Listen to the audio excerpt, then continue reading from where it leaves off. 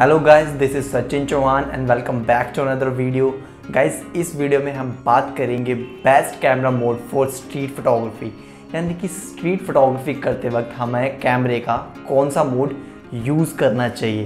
तो without time waste let's start the video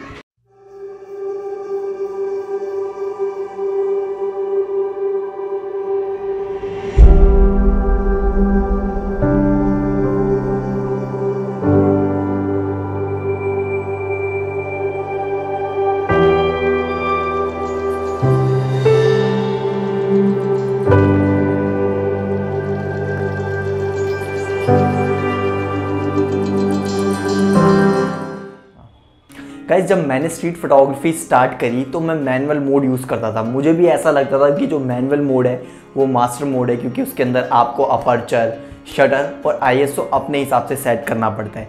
but जैसे जैसे मेरी नॉलेज इंक्रीज़ हुई स्ट्रीट फोटोग्राफी को लेके, तब मेरे को समझ में आया कि स्ट्रीट फोटोग्राफी के अंदर जो है मूवमेंट्स बहुत ज़्यादा इंपॉर्टेंट है।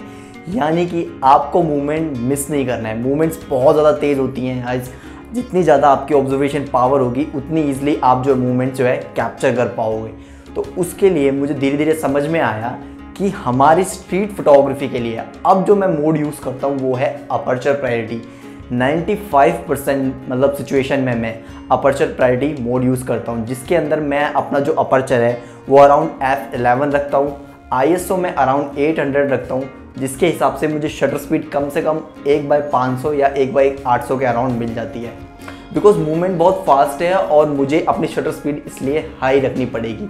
इसलिए मैं आईएसओ थोड़ा सा इंक्रीज़ कर लेता हूँ ताकि मुझे अपर्चर प्रायोरिटी मोड में एक अच्छी शटर स्पीड मिल सके, यानी कि एक बाई पाँच या एक बाई आठ बिकॉज़ मुझे मूवमेंट जो है वो फ्रीज़ करनी है। गाइज़ F11 या F16 में इसलिए अपना अपर्चर रखता हूँ बिकॉज़ मुझे अपनी फोटोग्राफ के अंदर स्ट्रीट फोटोग्राफी के अंदर लेयर्स करनी होती हैं। गाइज़ मैं लेयर्स यूज़ करता हूँ अपने फ्रेम्स के अंदर, जिसके थ्रू मैं अलग अलग स्टोरी नरेट करता हूँ अपने फ्रेम के थ्रू तो मैं अपना अपर्चर जो है F11 या F16 रखता हूँ, जिसकी वजह से एक मेरे को शार्प फोटोग्राफ मिलता है और एक क्लियर फोटोग्राफ आता है। आईएसओ की आप इतना ज़्यादा टेंशन ना लें बिकॉज़ स्ट्रीट फोटोग्राफी के अंदर सबसे मेन है मूवमेंट आपको मूवमेंट कैप्चर करना है उस मोड में। बिकॉज़ गैस होता क्या है कि आईएसओ का ये मिथ है कि हम कम से कम आईएसओ यूज़ करना चाहिए तो ऐसा कुछ नहीं है। अब मैं आई एस सोलह सौ, यानी कि अपनी क्रॉप बॉडी तक में मैं आई एस पे भी क्लिक कर चुका हूँ। मेरी एक सीरीज़ है लाइट सीरीज़ उसके अंदर का मेरा जो आईएसओ है, वो चार हज़ार है मैक्सिमम फोटोग्राफ में। बिकॉज़ यार मुझे ऐसा लगता है कि मुझे क्या मतलब ये आप जब भी, भी आप प्रिंट करेंगे अपनी फोटोग्राफ को तो उसमें आईएसओ बहुत अच्छा लगता है। मतलब एक अच्छे प्रिंट पे जब आप उसको देखेंगे आईएसओ तो ये मिथ निकाल दीजिए कि आपको आई एस पे क्लिक करनी है। बिकॉज़ स्ट्रीट के अंदर मूवमेंट बहुत ज़रूरी है। तो मैं मतलब आपको रिकमेंड करूँगा कि आप अपर्चर प्रायोरिटी मोड यूज़ करें। वैसे आप और भी एक्सपेरिमेंट कर सकते हैं manual mode shutter priority mode अलग अलग सिचुएशन में। बट 95 परसेंट मैं अपर्चर प्रायोरिटी यूज़ करता हूँ बिकॉज़ मेरे लिए फ़र्स्ट प्रेफर है मूवमेंट मेरे से मूवमेंट मिस नहीं होनी चाहिए। मैनुअल मोड में क्या होगा? मैं आईएसओ अपर्चर और शटर सेट करता रह जाऊँगा एक्सपोजर ही सेट करता रहूँगा और मूवमेंट जो है मिस हो जाएगी। मुझे मूवमेंट मिस नहीं करनी है, इसलिए मैं अपर्चर प्रायोरिटी मोड यूज़ करता हूँ। और उसके अंदर मेरी सेटिंग होती है F11 या F16 ISO 800 और उसके हिसाब से मुझे शटर स्पीड एक बाई पाँच या एक बाई आठ मिल जाती है। मॉर्निंग में अराउंड नाइन या टेन ए एम अगर आप शूट कर रहे हैं तो ये आपके जो सेटिंग्स है, आपको ये यूज़ करनी चाहिए। बाकी आप सिचुएशन के हिसाब से अपना अपर्चर चेंज कर सकते हैं।